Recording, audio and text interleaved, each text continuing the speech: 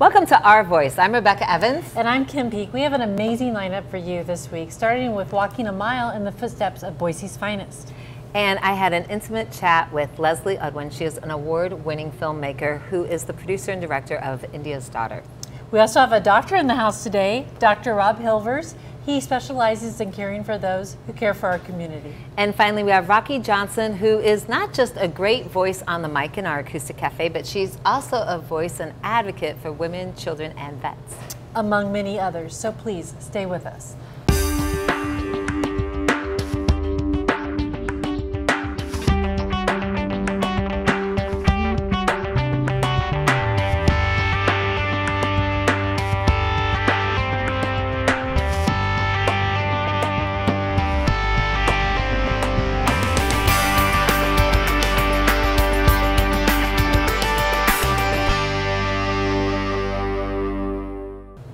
As you know, we film here at CenturyLink Arena with great support from the Grove Hotel. And there's so many games going on here. There's basketball, there's hockey, and apparently there's doctoring. That's right. This week, Rebecca and I are going to test our skills at, well, at surgery. At surgery. That's yeah. scary. But here's the thing you're going to have to stay tuned all through the show because we're going to do it at the end of the show. The end of the show. So stay tuned because coming up next, we have Kim interviewing our Boise's finest, Lieutenant Snyder and Officer Zimmer. Our guests today are part of the 1% that keep the 99% of us safe. We're joined today by Lieutenant Ted Snyder and Officer Chris Zimmer from the Boise Police Department. We have the opportunity to get a glimpse into their, into their life. We were dispatched to a call from a social worker that someone they've been working with has been having some issues lately. His wife called in, said that he had screwed all the doors and windows shut in the house and she'd been trapped inside for approximately two days and he wouldn't let her out. I called into the residence. Uh, she told me that she was able to unscrew the front door while he was in another part of the house and he didn't know she did that. And so then we had her run out the door to the officers that were waiting. I'll talk to her and, and investigate what crimes we have and then we'll start to get her assistance either through our victim witness coordinators or if she needs further interview from detectives. So I'm going to go talk to the, uh, the, the wife right now and, and see what we have. So can we bring her back here with Belinda and then I'll move up with Charlie? So we could go through the back. That might be a better option.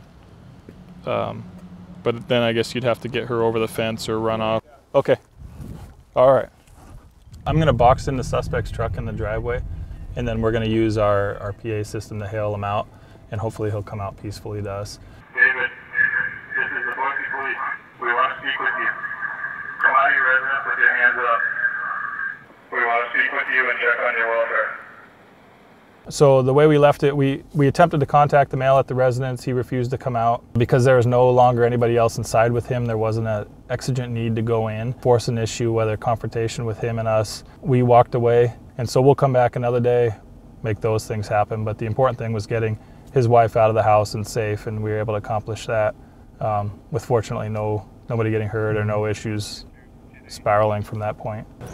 So, Chris, that footage, is that a typical situation you run into? It is, yes. Uh, that was a domestic violence call, um, and that's pretty typical for a shift. They all vary somewhat okay. depending on you know each specific situation, right. but yes. Right. Well, we want our viewers to get to know a little bit about what it's like to be a police officer, kind of get into your life. So, Ted, tell us, did you always want to be a police officer? no, not really. I started out in life from the time I was probably about a freshman in high school, thinking towards a, a career in accounting. Okay. So yeah, I aimed my sights towards that and uh, got my accounting degree from University of Idaho and worked for about two and a half years in the accounting industry and thought, hmm, this isn't for me. And so I'd done a ride-along with a fellow officer that we went to church with and did two ride-alongs with him and I was hooked after that. I you were hooked. I've got to do this. That's great. And how about you, Chris? Uh, no, not for me as well. I, I went to college to be a teacher. After okay. College, I started working with abused children and then quickly realized instead of being in um, the treatment side of things, I wanted to work in prevention and intervention and, and holding those accountable that, that did criminal acts instead. Okay, okay. And along with that, what's the most rewarding part of your job? Uh, I think just when you go handle a call, you know, it's not a normal day for somebody if they're calling 911. And so when you go there and are able to resolve a situation, um, just seeing the relief on their face uh, when it's all done, or them telling you that thank you Thank you. That that's the best thing you can hear because you never know what you prevent, and I'm sure every day you know we're doing stuff that keeps things from happening. But in those situations when you know you've you've changed something for the better, that's there's nothing beats that. That's great. That's great. And what about you, Ted? The same. I mean, like he said, people don't call 911 because they're inviting you over for coffee or for lunch, you know. So Right. They're in some type of crisis usually when they call 911. So we show up and do the best we can to help. So probably the greatest satisfaction is once in a while you get that feedback. Somebody says thank you, they write you a letter, and just knowing that you've helped somebody. So knowing that you've done that at the end of each call, that's the best satisfaction. That's the reward. That's the reward. So, Chris, if someone is interested in becoming a police officer, how can they find out more about that? Then go to our website at police.cityofboise.org and find out information on there. Great. Well, thank you both for being here with us today, giving uh, us a glimpse into the life of a police officer. We appreciate it. Coming up on Our Voice, we have an interview with award winning filmmaker Leslee Udwin. I recently had the incredible experience to sit down face to face and talk to award winning filmmaker Leslee Udwin, who produced and directed the film India's Daughter. Let's take a look. We have the best culture. In our culture, there is no place for a woman.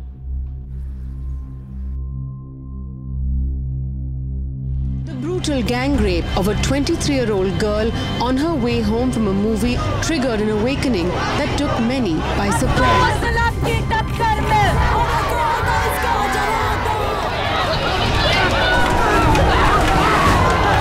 According to the latest government figures, one woman is now raped in India every 20 minutes.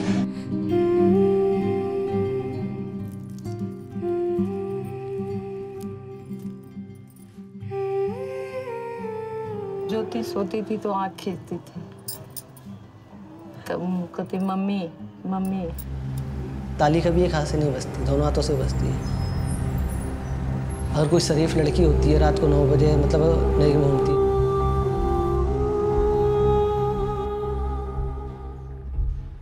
जितनी बीस पंद्रह बीस minute गाड़ी चली है, मैंने चलाई थी। लाइटें बंद कर दी थी उन्होंने। भाई था मैं। जिस लड़के को मारा था, जाके वो सीटों के बीच में छुप गया बस।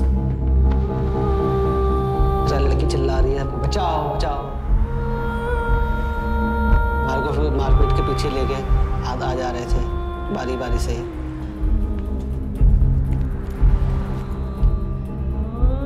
जुनाइल ने कपड़ा निकालने चक्कर में उसने हाथ डाला कुछ ऐसी चीज़ थी अंदर से लंबी लंबी सी निकली थी अतड़िया ही थी कुछ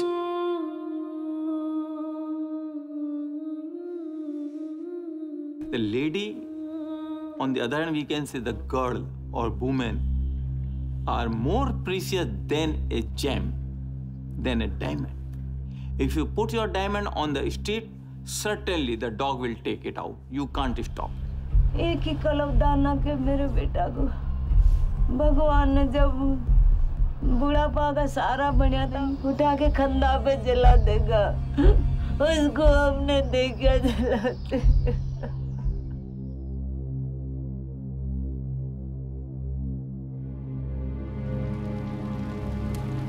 आखिरी बार जब हम उसको हॉस्पिटल में मिले, उसने हाथ में हमारा हाथ लेके चुमा और बोला कि सॉरी मम्मी हमने आपको बहुत तकलीफ दिया I am sorry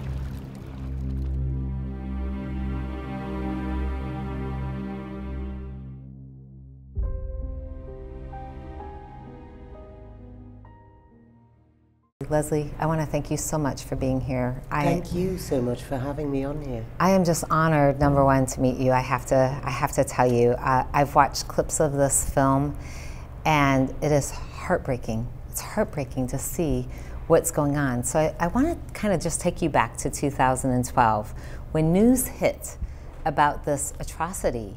What was your initial reaction when you heard about the story? Well, Rebecca, I guess my stomach turned um, collectively with the whole world at the brutality, um, the hate filled, heinous details of this rape. But to be honest, I've heard it before. We all have. Um, there was nothing particularly, sadly, remarkable about the rape itself. What was extraordinary was the response to the rape, what followed in the ensuing days and indeed weeks, um, because the entire country seemed to mobilize. Right. There was this extraordinary outpouring of anger and passion and commitment to change, unprecedented numbers, and there were men and women, and it was so inspiring. I was all struck, you know, and, and I'd never seen such a passionate commitment from civil society for change, to end rape culture um, and seek justice for women and girls. So I am full of optimism. Right. I know we're going to change the world, but we have to. We have You no further down to go. in the darkness. I mean, that's really, I think, when people try to find healing, even your own personal experience with rape, I think this gives it meaning. Yes. And it's no coincidence, actually, Rebecca, that the mechanism that, that does that with film and why film is the most powerful tool for change that there is, is because it's empathetic as a medium. And I feel like you have captured this moment in time, India's daughter. You've put her in a time capsule. You've given her life to continue on and a voice to continue on so that it will not be forgotten. I think that is another key component. This is where we've been. We have to acknowledge that. And I want to I want to thank you for your work.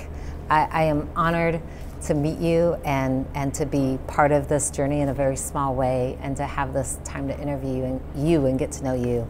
Rebecca, it's really important for me to say, I want to thank you for your work. We are all doing this together.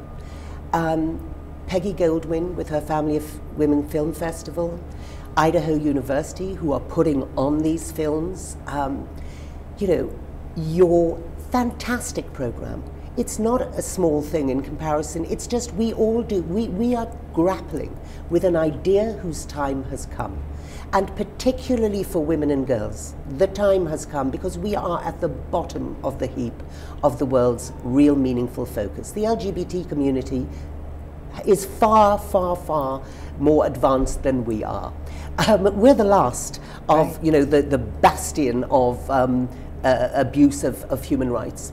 And we are all doing it together, and I am in awe of you and what you do. Oh, thank you. Um, so, really, it's there's nothing as powerful as an idea whose time has come. Yeah. We must all do this together. Yeah, thank you. Thank you so much. And thank you for being on, on the show. And I'm going to follow you. I'd like to follow up with you and see what further changes and how we can further be of support with your, um, with your journey. I'm just, I'm so excited to see what's going to unfold and continue to unfold for you with India's daughter. And thank you for your work. Thank you so much. Thank you. So, part of our voice is to be a powerful tool, a powerful vessel in the community to make a difference. And having the opportunity to interview filmmaker, award winning filmmaker Leslee Udwin really gives us a chance to be a voice to share a powerful story that happened in 2012. And really, this story should not be forgotten. I want to thank you, the viewer, for watching. Get involved, be part of the change, be part of the education that needs to happen, and help create empathy. Rebecca, that had to be an incredible experience. What was one of your takeaways? You know, honestly, there were so many things to take away from Leslee, but I think the cultural change that needs to happen with the mindset of how women are viewed around the world, and I think it starts at a young age, and we could do something about that. So if you want more information, you can go to indiasdaughter.com, and the full interview is also available on our YouTube channel at Our Voice Idaho. Great. Coming up next, we have one of the finest doctors around. Dr. Hilvers joins us next. If you've ever needed a specialist when it comes to medicine, there are plenty of options from ophthalmologists to ophthalmologists to orthopedic surgeons. But we found a doctor here in the Valley that specializes in a niche group.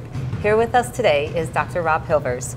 We're so excited to have you on the me. set. Yes. Yeah, thank you. So I want to start off and just ask you this question Did you know you always wanted to be a doctor? No, I, I decided later in college, I thought I was going to work for NASA, I thought about going into medicine. I got injured in college playing ball, and I had surgery and ended up becoming friends with my orthopedic surgeon when I was in college in New York, who convinced me to try to think about medicine over the years. And finally, my junior summer, working with him, I decided to sit really late for the medical school entry exam and um, did well. And um, so it was a late decision, it was a good decision. So from that time, you're at that moment to this moment, you now have this niche community that you're really serving, and these are first responders. So tell us a little bit. I, I'm just curious, how did that even come about? Because no one else is really doing this. Yeah, so I started off, I really wanted to go into family medicine. I wanted the ability to do international medicine and be able to treat really as much as I could treat. Um, and uh, along the way, I was very fortunate to get a job working in the emergency room in St. Luke's, uh, which has been wonderful. About 2004, I also got a call from Boise Fire asking if I would be willing to take care of their Boise, the Special Operations Dive Team. And so it was 30 members. We did in September. It was great. We put together a quick makeshift clinic. Um, the next year, they said, hey, would you also be willing to see our hazardous materials team? So it went from 30 to 60. And then the following year, they also said, hey, what about our high angle rescue team and our guys over 50? And that next year, Meridian Fire had called and said, hey, would you be willing to see our recruits? And it's different for first responders because you're dealing with physical therapy issues. These guys get injured differently on the job than your average desk jock, right? But there's also a cardiac side So of if- it too that they're a little more at risk. Is that If I were to say there were probably three number of things that we take care of. Number one is cardiovascular risks. Uh, number two would be orthopedic musculoskeletal injuries, and probably behavioral health. But when you look at just cardiac disease among firefighters and police officers, so studies have shown that you know firefighters have about a fourfold increased risk of online cardiac death. Police officers almost twofold increased risk. And so when you think of an average 45 year old, you think three in the morning alarm goes off, right? So you get this sympathetic heart rate, blood pressure's through the roof. You haven't even got out of bed yet, right? Your heart rate's already up. So then you put these turnouts on, your core temperatures start to rise, and then you throw severe physical exertion into the mix. And then I always say you throw pride into there, right? These guys are very passionate about what they do. They're there to protect. And so average firefighter is not going to stop when they have some chest pain. And so they will often Right. work They're through the that. warriors, They're the right. warriors. And I would say the same thing with law enforcement. We I was involved with 2008 when we had that bench fire, and I was in the emergency room that night, and we had seven Boise police officers show up in the emergency room with inhalational exposures. They were the, truly the first responders at that fire, so they also Wow. have those risks. And you've been written up in some magazines regarding this care because no one else is really doing this. So tell me a little bit about that as well. Well, Chief Michael Masterson, who was uh, the police chief, uh, recently retired, wrote an article about a, a cardiac study that we have ongoing with St. Alphonsus right now. Um, and it got picked up nationally, and so we were getting calls from a lot of East Coast departments about, so what is the program? What is this wellness program that you have? And so I got a call from the chief editor in, in Massachusetts about writing an article Wow. about our program. So it was, we got published uh, August of 2014. Also, um, I want to know, you know, you worked in the ER for a little bit of time. Is there a life lesson that you learned working in the ER? Yeah, so uh, as a patient, so I uh, As a patient, four, okay. four years ago, I had uh, I came off a night shifts doing ER work, and I had had a terrible road bike accident. I hit pavement at 30 miles an hour, my fault, and I had broke my severe femur fracture. I had broke my my femur in really six different places, and spent the entire night in the OR. I woke up with a plate and 13 screws in my femur. I dropped 60% of my blood overnight. Yeah, so that, I mean, and did that change how you practice medicine now? It does. Yeah. I, I, mean, you, it makes you very um, humbled. Yeah. You know, and I, I think you have a much better perspective on people with the concerns of disability, the concerns of pain, the concerns of losing your job. If people want to get a hold of you, any capacity, how can they do that? So easiest way is through the website. So www.er-hc.org. Okay, well, again, thank you so much. You have the website on the screen. And coming up next on Our Voice is Rocci Johnson, who is a great voice in the community, but she's also a great advocate. You're going to want to stay with us. Welcome back to Our Voice. Today we have one of the Treasure Valley's most well-known voices, not only for her vocals, but also for her advocacy here in our Acoustic Cafe. Welcome, Rocci Johnson. Thank you, Kim. Thanks We're- for having me. Yes, we're so glad to have you. And so just to get our viewers to know a little bit about you, tell us a little bit about what inspired you as a musician, as a vocalist. Was it a certain artist or what was it? Well, uh, there weren't a lot of women in rock and roll when I was small, and Mm-hmm. um, I was inspired by, you know, Gracie Slick and Janis Joplin and, and strong women like Tina Turner that hit the stage and really wowed the people. I know just as important to you, if not more important than your music, is your advocacy work. Tell us a little bit about that, a cause near and dear to your heart, and what you're doing right now. Well, as a survivor myself of uh, child abuse and, and domestic abuse, um, I, I really feel it's very important to give back to the community. And I've always strived to do so with events, fundraisers, and especially with raising consciousness here in the Valley so that uh, women are, are able to understand and that they do not have to stay in a situation that's untenable. Okay, that's great. And I know that you wanted to share a hotline um, with our viewers in case anybody's in that situation right now. I do. Yes, the hotline for the WCA is 208 343 7025. And the 1 800 number is 1 800 377 3529. And it's on your screen. And what I would like to really impress upon your guests today is that if your friends and family, uh, are- you're reaching out to them and you're not able to communicate your situation, and you really know that you need help and you need to find a safe place, call this number. Our viewers need to know that you can reach out and get help, and there's counseling for you so that you realize that if you're in a situation where you, your money's being controlled, or your friends are being controlled, or what you wear is being controlled, this leads to other things. It's not right to be controlled in such a way, and there is a way to move forward out of that. I know, Rocci, that your music is important to you to also further this awareness. So share with us a song that you're going to sing for us today and why you chose that. This song is called Luka. It's written by Suzanne Vega, and it's from the vantage point of a child who's being abused. And uh, this song really touched me because I was young when it first came out, and it was about a subject that people did not discuss. Right. It was not normal to talk about child abuse and domestic abuse. And I think it's important that we do so. And when we speak loudly, sing about it, talk about it, it, we're able to move out of the darkness of that abuse and into the light of day where no, that abuse can no longer occur. Well said. Let's hear Rocci Johnson sing Luka.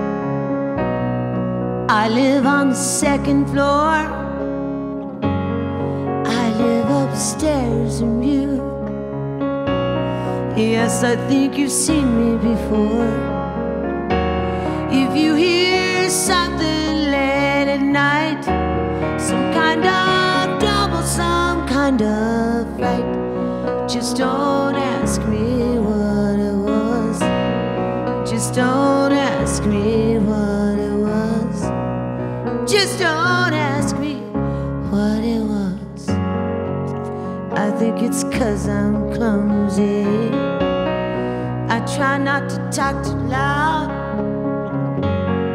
Maybe it's because I'm crazy. And I try not to act too proud.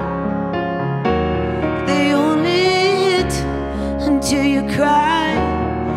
After that, you don't ask why. You just don't argue argue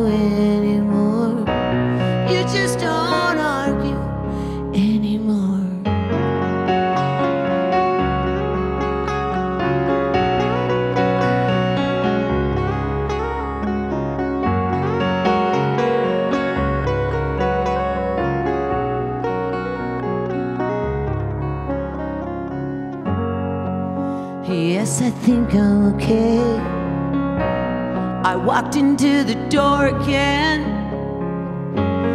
If you ask, that's what I say. It's not your business anyway. I guess I like to be alone. Nothing broken, nothing thrown. Just don't ask me how I am. Just don't ask me how. Just don't ask me how I am. My name is Luka. And I live on the second floor. I live upstairs from you. Yes, I think you've seen me before. If you hear something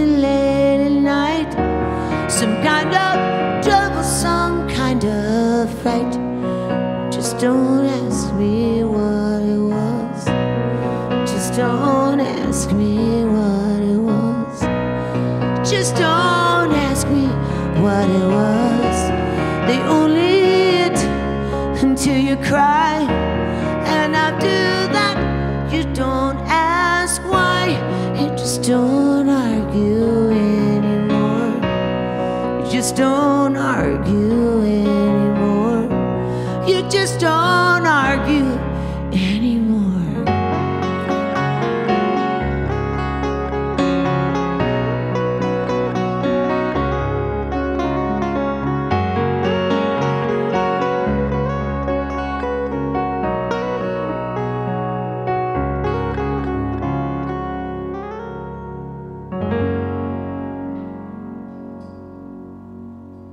Rocci, that was an incredible song. Thank you for sharing it with us. Thank you for having me sing it. So, um, to wrap up here, what would you say has been one of the, the biggest life lessons or defining moments you've had as you've gone forward with your music as a rock star, and also, on the other hand, been a real advocate for, for abuse in our society?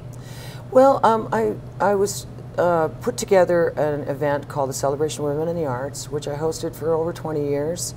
Um, and it, I got together with nine women here in town that are still together to this day. Well, actually, 25 years later, come to think of it. and we performed as a benefit for the WCA. And we're called the Divas of Boise. And we advocated for women's issues as well and the empowerment of women. First few years of that, I decided it was important for me to speak to my experiences as a survivor. And so I stood on stage and talked about it, and I was very pointed and personal. Rocci, thank you so much for joining us. Can you just, um, in the uh, last seconds we have together, just share with us how people can find out more about your music and where you're playing next? Well, I perform at Humpin' Hannah's downtown in, Boise, in downtown Boise at 621 Main. I'm there Wednesday, Fridays, and Saturdays, and we host all kinds of great events. So uh, always check out our Facebook page and our website at humpinhannahs.com. Great, thank you so much. Thank you, Kim. Stay with us. And next, we have that peek for you that we promised with Dr. Hilvers, where he's teaching Rebecca and I something about surgery. I guess we're prepped. As promised, Dr. Hilvers has arrived to do some surgery, right? So Yes. you're going to train me a little bit on this procedure. Absolutely. So what's the prognosis? We have a patient, Yeah, so Rebecca, we've got a 28-year-old hockey player comes in with a so little we bit- don't need No, so we don't need that. No. Hockey So player, okay. Comes in with a couple injuries. You can see he's got a, a dislocated uh, wishbone, Oh, do you want me to wait? No, okay, never mind. Go ahead. and he comes in with a leg injury.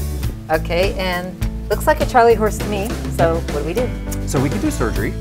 So, surgery, yeah. okay. So if you're going to do surgery, you're going to need surgical equipment. Okay. So you're going to need a sterile fork Sterile fork and a sterile butter knife. and a sterile butter knife. Okay, Yes, great. yeah. Okay, yeah, I know. I found these. So Oh, that's brilliant. Yeah, so those- what do these you- do? Oh! All right, I think you killed them. So maybe next time we just prescribe stretches. thank you so much for watching Our Voice, and we want you to be part of our community at Our Voice Idaho And join our conversations on our Facebook page because your voice matters. here on Our Voice.